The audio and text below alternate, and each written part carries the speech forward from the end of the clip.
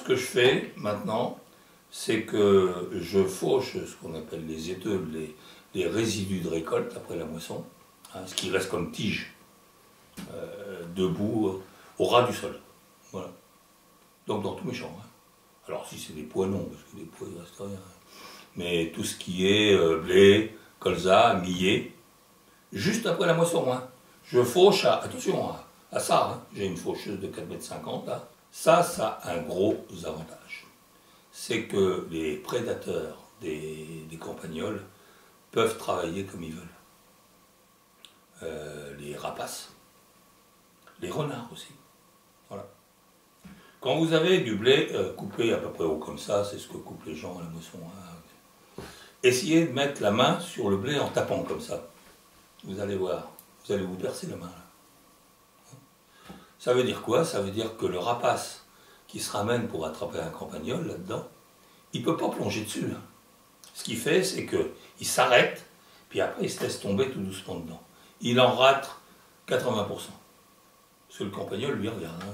je veux dire que euh, il sait très bien que là-haut, ça surveille. Hein. Et le renard, c'est pareil. Parce que le renard, il chasse, vous savez comment il chasse. Il saute, et puis il attrape euh, en baissant la tête. Essayez de mettre euh, la tête comme ça dans du blé euh, ou comme ça, ou dans du colza, ça sera pire. Hein. Vous allez vous crever les yeux. Hein. Donc qu'est-ce qu'il fait? Il saute, puis après, doucement, et avec la tête, il en rate 80-90%. Donc euh, quand vous fauchez au ras du sol, moi je le vois, hein, les rapaces aujourd'hui, c'est marrant parce que la nature est bien faite quand même. Les rapaces suivent ma faucheuse ils ont compris que derrière, il y avait de la bouffe. Hein. Donc quand je sors la faucheuse, je vois déjà les rapaces qui arrivent derrière. Eh bien, euh, aujourd'hui, ils ne se posent même plus pour ramasser les, les campagnols. Ils prennent, et puis ils vont manger ailleurs. Ils prennent 100%, hein, pratiquement. Si le campagnol est sorti, c'est 100%. Et les renards, c'est pareil. Hein. Ils ramassent tout. S'il a le temps, le, le, campagnol, il n'a pas le temps de rentrer dans son trou. Il saute directement dessus. Voilà.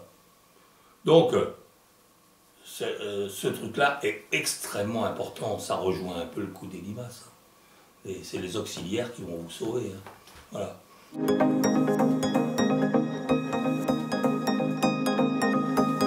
Euh, une fois que vous avez fait ça, si vous voyez à cette époque-là, par exemple, ou à la reprise au printemps, mais à cette époque-là, ça se voit bien, par exemple, dans du blé, quand il va commencer à pousser, vous allez voir des ronds, là où il y a des campagnols qui restent. Hein. Sur des colzas aussi, euh, voilà, donc euh, même sur des pois, on le voit aussi, enfin voilà. Hein, donc dès que vous voyez facilement les trous de campagnols, dans, il ne faut pas attendre, hein. il faut le faire très très vite. Euh, des trous de campagnols dans vos cultures. pourquoi il ne faut pas attendre? Moi, au début, je me suis fait avoir avec ces histoires-là. quand tu attends, tu as toujours le trou que tu vois là, tu traites ce trou-là, mais tu ne te rends pas compte que, par exemple, les enfants de ceux qui ont, qui ont fait leur petit là, ils sont plus là, ils sont à 20 mètres plus loin.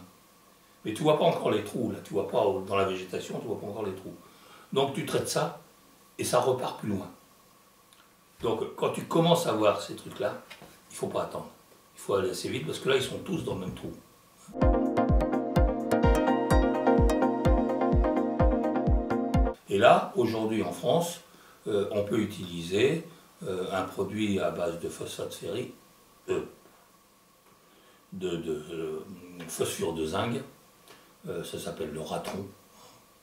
Bon, il y a des normes précises et tout, mais comme il ne reste pas beaucoup de campagnols, bon, bah, vous n'utilisez même pas la dose préconisée, hein, même un dixième de la dose préconisée. Et comme il n'y a pas beaucoup de trous quand même, de campagnols qui restent après la prédation, là, euh, euh, vous mettez pas longtemps. Hein. Moi je vois ici, euh, tu fais 50 hectares, les trous qui restent, 50 hectares dans la journée. Moi j'avoue que depuis que je fais ça, j'ai une faucheuse depuis 8 ans. Je ne suis plus réellement embêté par les compagnons alors que c'était au départ, au début hein, quand même, à mon avis, la contrainte principale du peu de diffusion du SMI direct en France. En particulier dans les sols argilo-calcaires comme les nôtres, parce que ce que déteste le MUNO, c'est l'humidité. Or, dans des sols qui drainent aussi bien que nous, on n'a pas d'humidité.